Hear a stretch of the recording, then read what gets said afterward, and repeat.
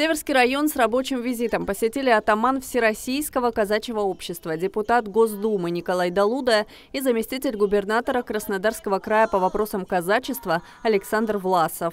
Всероссийский атаман считает одной из важнейших задач – развивать систему казачьего образования, которая начинается еще с дошкольного возраста. Детский сад номер 15 поселка Ильский как раз имеет казачью направленность. Детвора здесь изучают кубанские традиции, обычаи и культуру. Кто такие казаки? Это воины. Правильно, все, больше ничего. Больше ничего не спрашиваем. Молодец, это воины прежде всего. Предмет гордости 15-го садика – шикарное подворье с казачьей хатой. Огород воспитанники образовательного учреждения возделывают самостоятельно под руководством воспитателей. Этой осенью, несмотря на засуху, собрали завидный урожай. Держат здесь даже самых настоящих кур. После небольшой экскурсии дорогих гостей напоили узваром, накормили пирожками и порадовали творческой программой, подготовленной воспитанниками подготовительной группы.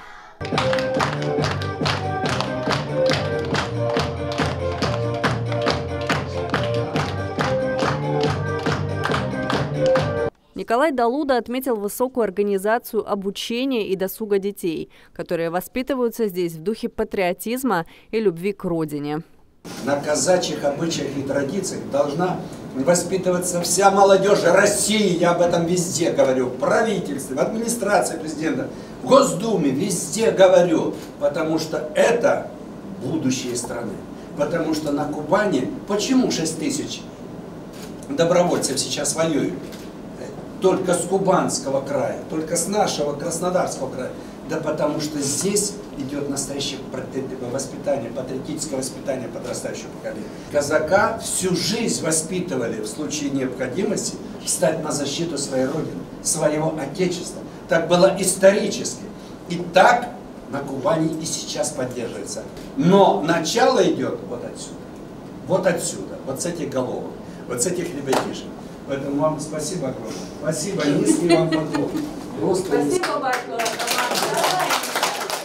Попрощались с детворой после обмена подарками. Следующим пунктом рабочего визита стал штаб Северского районного казачьего общества. Казаки принимают активное участие в жизни муниципалитета, в том числе и являются участниками добровольных объединений. Лесная дружина, например, в составе 10 человек использует это оборудование для участия в тушении пожаров.